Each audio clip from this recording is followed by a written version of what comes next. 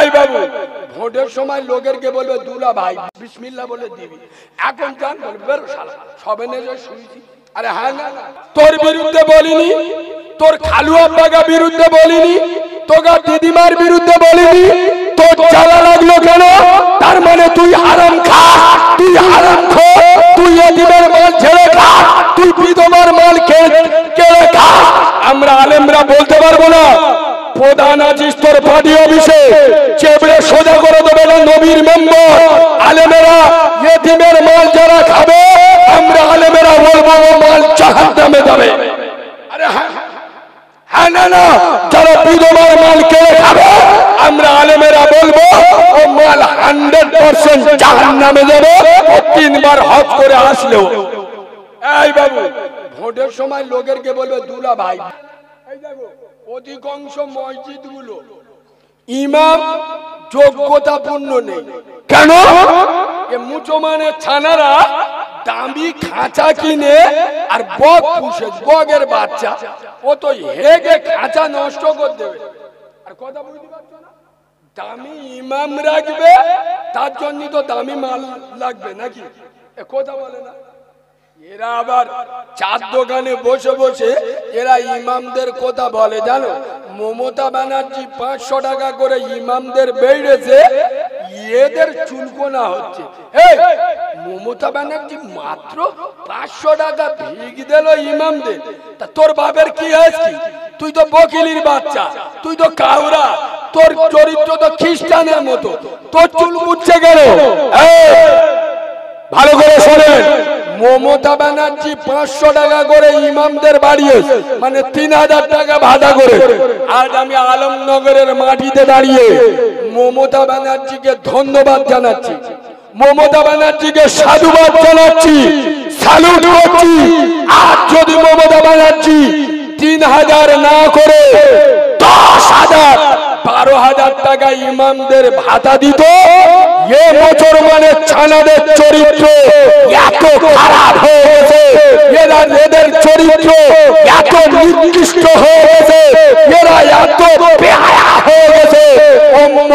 যদি দশ হাজার, বারো হাজার ইমাম ভাতা বাড়িয়ে দিত, আমি নবীর মেম্বারে বসে বলছি, প্রত্যেকটা আট থেকে দশটা করে লাশ পড়ে যেত? তখন তো মসজিদের প্রতি দরদ উঠলে উঠবে। সভাপতি বলবে, আমার বেটা ইমামতি করবে কথা বলে না। সেক্রেটারি বলল আমার তুলা ভাই ইমামতি করবে, বারো হাজার টাকা মাইনে। ক্যাশিয়ার বলবে, আমার খালু আব্বা ইমামতি করবে। তখন গ্রামে মারামারি হতো না, হতো কথা বলে না? হতো না হতো না। আজকের তোমরা বলে মসজিদের রাজনীতি হচ্ছে। সারা মসজিদের রাজনীতি ঢুকিয়েছ তো তোমরা। তোমরা তো নিকৃষ্ট। তোমরা তো যায় তোমরা তো মূর্খ। এই বাবু, ভালো করে শোনে আমি থামাখালি নদীর ওদিকে বলছিলাম। আমি এই হক কথাগুলো বলি বলে আমার বিরুদ্ধে বিভিন্ন রকমের চক্রান্ত চলছে। এই এক জায়গায় মারামারি হয়েছে একটা মোল সাহেব ফতোয়া দিয়েছে, ইমাম সাহেব বলে লক্ষ্মীর ভান্ডার হারাম। কি হারাম? আরে মমতা ব্যানার্জি যে প্রকল্পটা লক্ষ্মীর ভান্ডার হারাম। গ্রামে মারামারি বেঁধে গেছে, গ্রামের মেয়েরা বলে, শালা, ওরা মোল সাহেবের ভাত দেবো আমাদের পাঁচশো টাকা করে পাচ্ছি, আর মোল সাহেব ফতোয়া লক্ষ্মীর ভান্ডার হারাম, ও মৌলবীর ভাত দেবো না। এ মৌলবী তো কিছু বোঝে না। আন্দাজি ফতোয়া মারতে পারলেই বাঁচে। লক্ষ্মীর ভান্ডার হারাম কেন? বলে, কেন উদি লক্ষ্মীর নাম আছে? তা লক্ষ্মীর নাম থাকলে যদি লক্ষ্মীর ভান্ডারটা হারাম হয়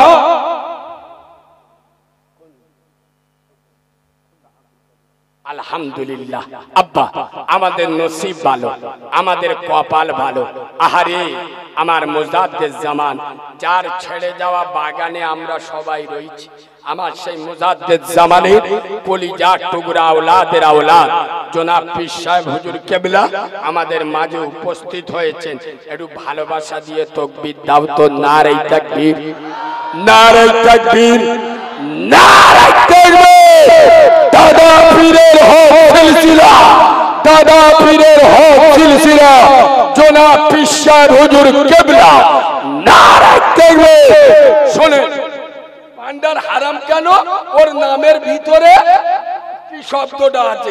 আচ্ছা আপনারা বলুন আপনাদের একে নারায়ণপুর বলে কোন জায়গা আছে? ওখানে তো মুসলমানদের থাকা উচিত না। কথা বলে ও কিন্তু থাকা উচিত কারণ নারায়ণের নাম নারায়ণ তো ওদের দেবতা। তা নারায়ণপুরে হিন্দু মুসলমান বাস করে না করে না। মোল্লা কোটার ওখান কান ধরে তেড়ে দাও। খালি ফতোয়া দিতে পারলে বেঁচে দাও মাথা বেতার মলম নে লেগে দিচ্ছ। যেখান সেখান ফতোয়া দিয়ে ইসলামকে হাস্যকর বানাচ্ছ। এই বাবু আচ্ছা লক্ষ্মীপুর জায়গার নাম আছে? লক্ষ্মীপুর? তা লক্ষ্মীপুরে হিন্দু মুসলমান থাকে না থাকে না।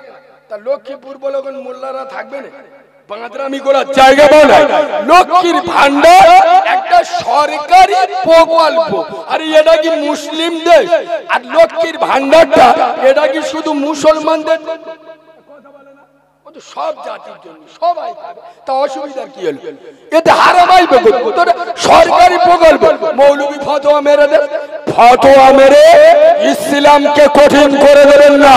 ফতোয়া মেরে ইসলামকে হাস্যকর করবেন না। ওয়াজ করতে করতে বলছি আমার সংগ্রামপুর আমি একদিন আমার সেন্ট্রাল ব্যাংকে গিয়েছি।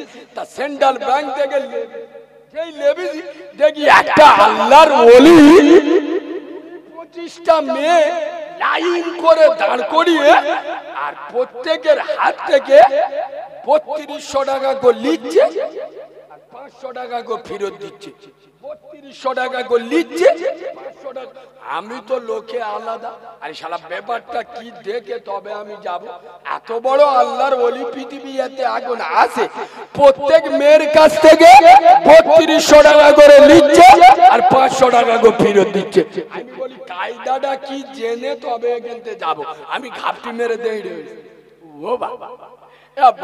কিছুক্ষণ পরে বুঝতে পারল। বলব জ্বালা লাগবে? তো কিছু এ উড়ে যাচ্ছে গায়ের কি হয়েছে? এ বাবু। কি হয়েছে? না গো এখন সব জলসায় বসে তো। গালে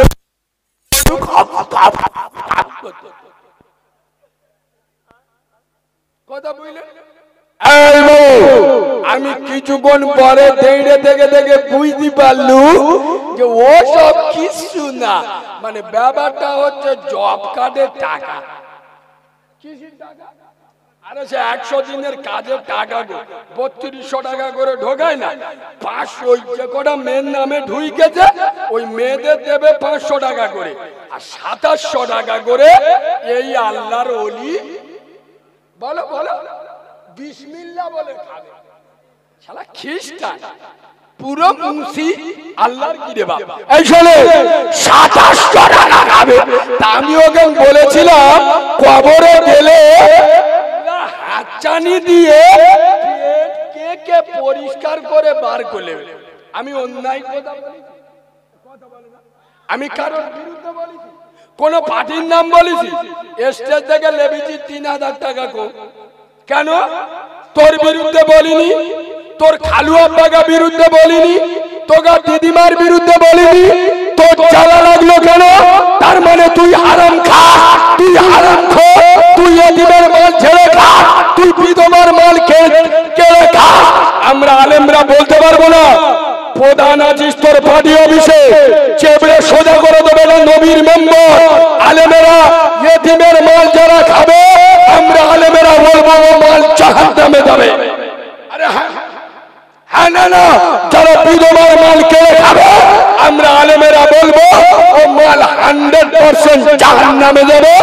তিনবার হজ করে আসলেও।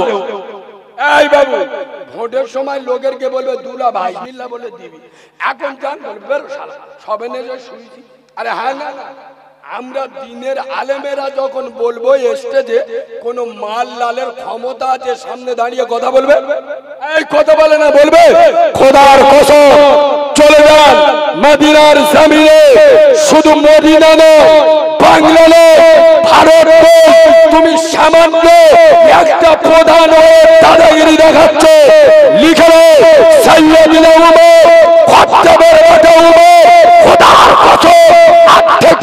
পৃথিবীর বাচ্চা অর্ধ পৃথিবীর বাচ্চা সাইয়েদিনা উমর বাইশ লক্ষ বর্গ মহিলার নেতা, আর মদিনার পার্লামেন্টে দাঁড়িয়ে বলছে, হে মদিনার যুবক জনেরা হে মদিনার বড় ছেলে, মেয়ে ছেলেরা, হে মদিনার সঙ্গী সাথীরা, হে মদিনার বড় নারীগণেরা কান খুলে শুনে আজকের মদিনার মানুষ কেন আমার শাসন আমলে যদি মদিনার একটা কুকুর না খেতে পেয়ে মারা যায়, আমি হব আল্লাহর কাছে আমার জবাব দিতে হবে।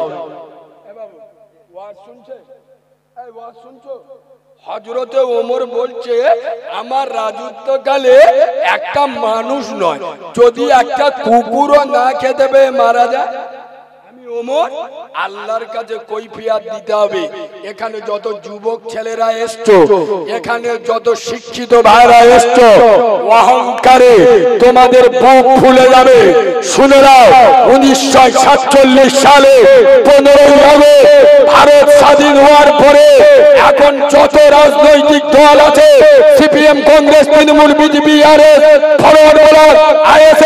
যত দল আছে, এদের খালু আব্বা ভারতের প্রধানমন্ত্রী পণ্ডিত জওয়াহরলাল নেহরু লাল কেল্লায় দাঁড়িয়ে বললেন, যে দেশে, যে রাজ্যে, যে শহরে, যে গ্রামে দুটো নেতার নেতৃত্ব মেনে চলবে, আমি পণ্ডিত জওয়াহরলাল নেহরু বলছি, ও দেশে, ও গ্রামে, ও শহরে রাজধানী হবে না, তোলাবাজি হবে না, গুন্ডামি হবে না খুন হবে না, মার্ডার হবে না, ধর্ষণ হবে না, জুলুম হবে না।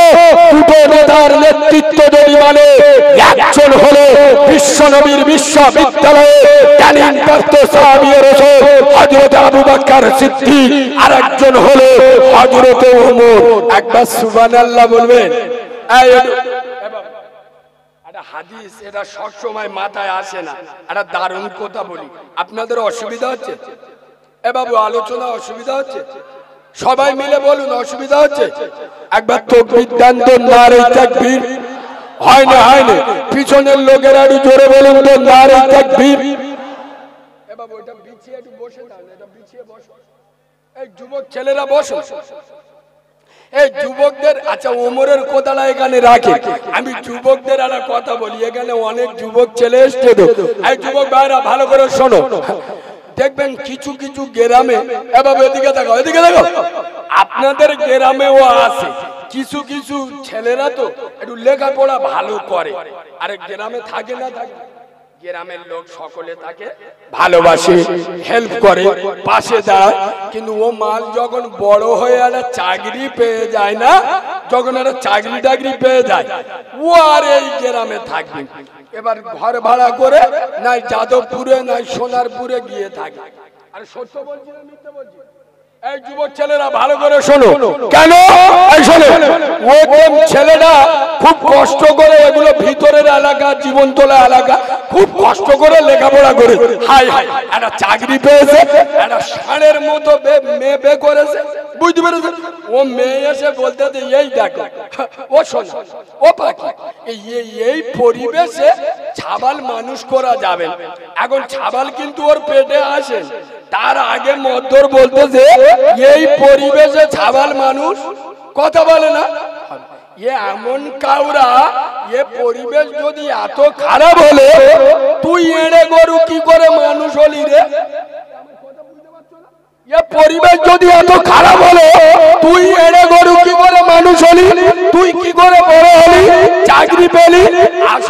আসলে ও সব কিছু নয়। পরিবেশ পরিবেশ খারাপ, এসব কিছু নয় রে, এই ছেলেরা। কারোর বউ যদি, ওর বউ যদি প্যান্ট শার্ট পরা মেয়েতে আচ্ছা প্যান্ট শার্ট পরে এইসব পাড়ায় যদি বের হয়, কুকুর ডাকবি কথা বলে না কেন? কুকুর কুকুর ডাকবি পরের সাথে টাইট ফিট আর টাইট পিট গেঞ্জি পরে বেরিয়েছে। আলমনগরের আট দশটা কুকুর ঘিরে ধরে। এ ওর বরের মধ্যে থাক। ইরম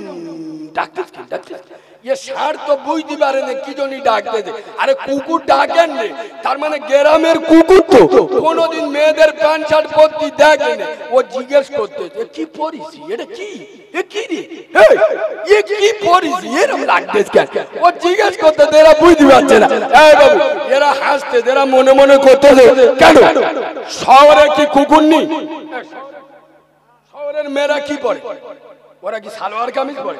শহরের মেয়েরাও প্যান্ট শার্ট পরে? তার শহরের কুকুররা ডাকে না? না রে বাবা, শহরের কুকুররা কি করে ডাকবে? ওরা তো সবসময় কোলে কোলে থাকে, ওরা তো মোজা লায় আরে হ্যাঁ গ্রামের কুকুরের কেউ কোলে আর শহরের কুকুরগুলো দেখবে, মেয়েরা এরম কোলে কোলে কোলে দিচ্ছে তা যে মজা নিচ্ছে, সে ডাকবে কি করে? আর কুকুর ইয়ে তো কোনোদিন ওসব ডাকেনি